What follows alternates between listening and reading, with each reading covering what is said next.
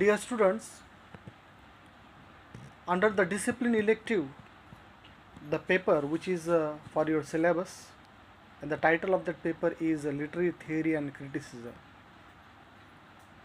In that, uh, the unit first is uh, about the Greek Greek masters Plato, Aristotle, Horace, and Longinus. So these are the four uh, great Greek masters are prescribed for your syllabus. Let's begin with the first one. That is Plato. Plato's date of birth is you know uncertain one, which is generally put down as 427 before Christ, but he's definitely died in uh, 348 before Christ. He was a you know disciple to the great philosopher that is Socrates. And under the his influence, Plato, Plato's work is continuously, you know, uh, reflecting the ideas of Socrates, his way of thinking, his way of to way, way of you know looking to the life. But when Plato comes on the scene, the glory of Athenian art and literature illustrated in the work of artists like Phidias and Polygnotus and writers like Aeschylus, Sophocles, Euripides and Aristophanes was you know uh, you know becoming weaker or or or, or, or to, to some extent I would like to say that declining in, in the standard. And their place was taken by philosophy and oratory. Philosophers uh, like uh, Socrates, Parmenides, Empedocles. So these were the great philosophers at that point of time. And orators like Gorgias, Antiphon, and Lysias. As I mentioned, there was a declining in the national character and the standards of the social and public life. The philosoph- philosophers in particular discussed a great variety of matters of concern to the citizen and the state. Applying the test of reason to each, Socrates had them all by his dispassionate quest of truth, which often challenged many and established belief and conventions. Aristotle, later on, the student or the you know disciple to the Plato also influenced by these uh, things. Socrates with the with his uh, dispassionate quest probing searching for the truth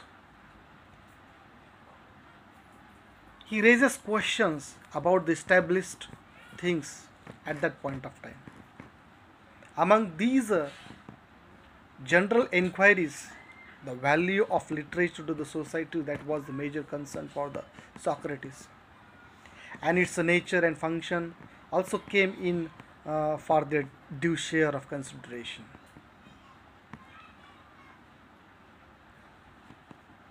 As compared with this age, the previous age was one of the creativity creative age as I mentioned, the various writers like Aeschylus, Sophocles, and Euripides, so they contributed a lot by their creative writings, by the poems, by their dramas.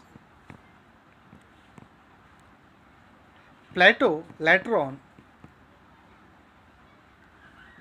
was influenced by the Socrates he was not a professed critic of literature.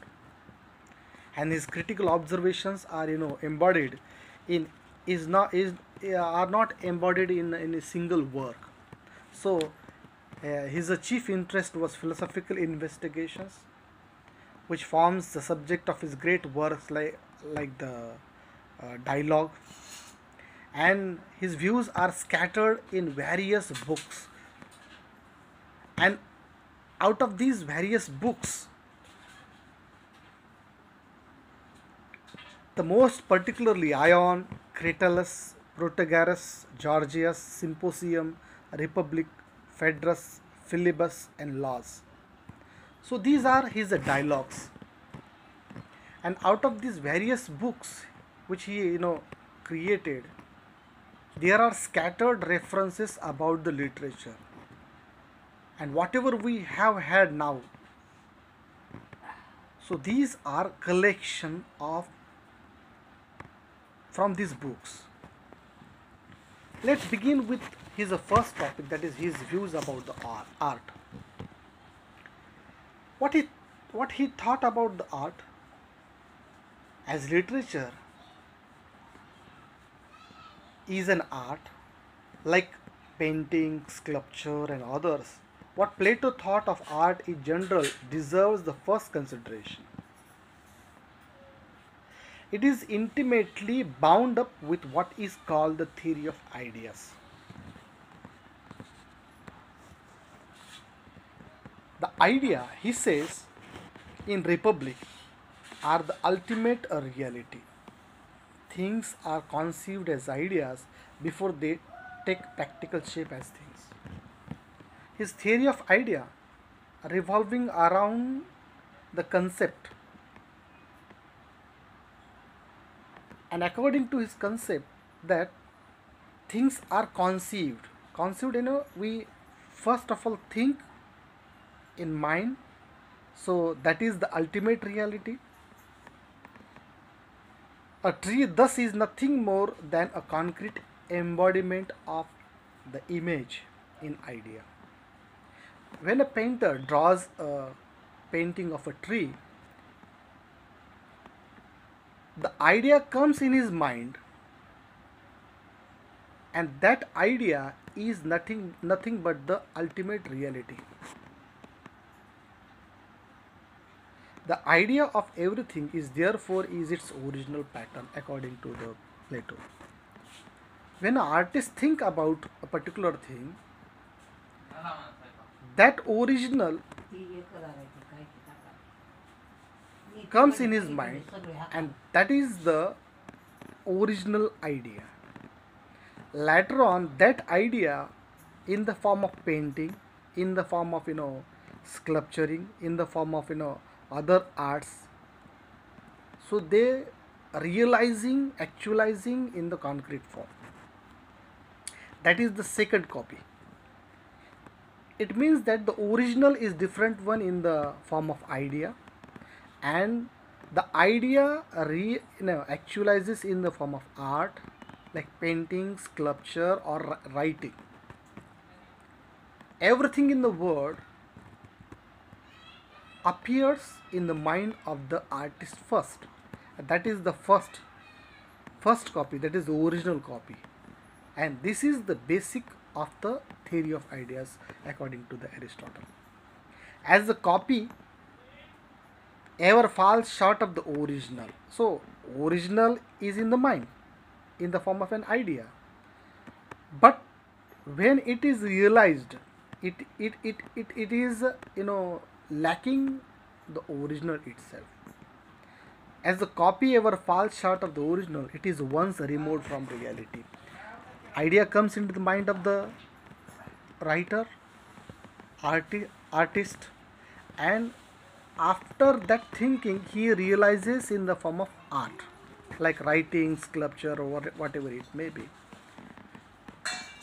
When it forms in the concrete form, it is it is lacking the original because original is different one in the form of an idea that is the first uh, removed from the uh, reality. When ideas are uh, real things according to the plato. Now art literature painting sculpture reproduces but the things as mere pastimes says plato. The first in the word the next in the color and the last one in the stone. It means that literatures produce in the words, then paintings in the color and the sculpturing is in the stone. An artist sculptured you know he carved on the stone and uh, he realizes his ideas in the form of art concretizing that is called i would say so it merely copies a copy the first in the mind of the mind of the art artist? He thinks about that uh,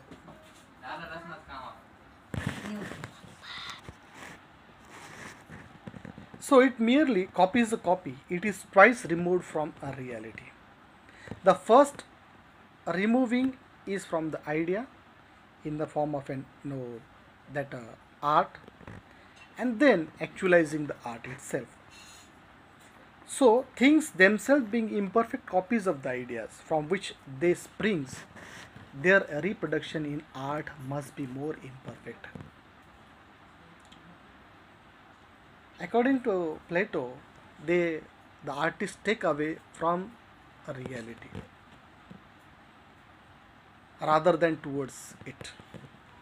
At best they are but partial images of it so this is his idea about the views about the art and particularly the theory of ideas. The next point which he considers about uh, literature. What are his views about the literature particularly the poetry? At that point of time poetry was you know famous form of literature the same concerns for the good of the individual and the state marks plato's pronouncement on the poetry. He was continuously thinking about the citizens the individual health because uh, he wanted to create a you know ideal republic. And in that ideal republic the peoples uh, should be like that. So they should be real one. So instead of liter- literature taking to the uh, reality the literature is taking us from the reality. That was his uh, core concept about the theory of idea. Judging by these twin uh, twin standards that is the betterment of the uh, citizen and uh, state for ideal republic he finds more into condemn that is uh, uh, in literature he finds more to condemn of it uh, condemn than to approve so he was not in a favor uh, of literature he was not a favorable one. The first ground of his condemnation the first attack of plato on literature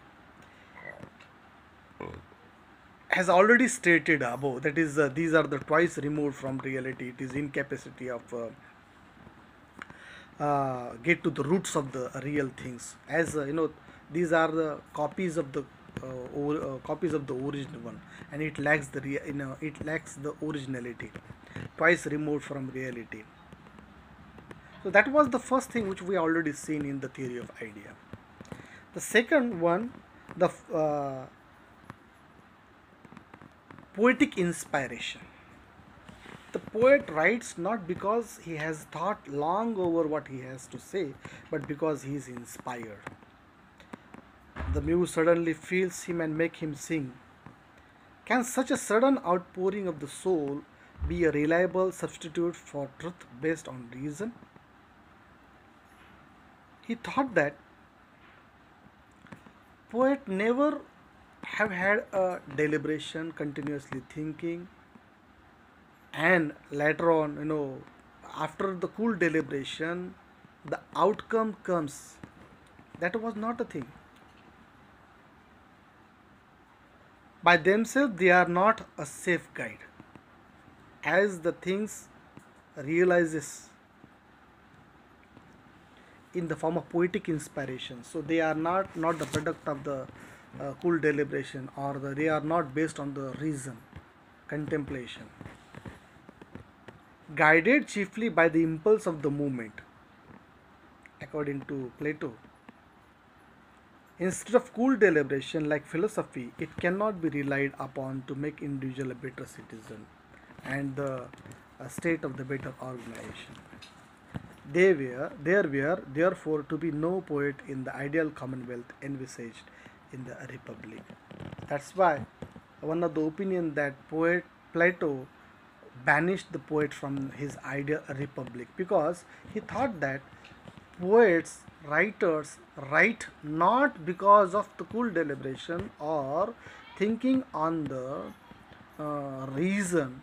So they uh, uh, uh, for a long time they never thought never think about a particular thing.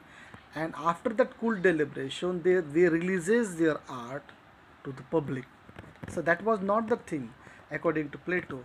He thought that poet writer writes because of the poetic inspiration.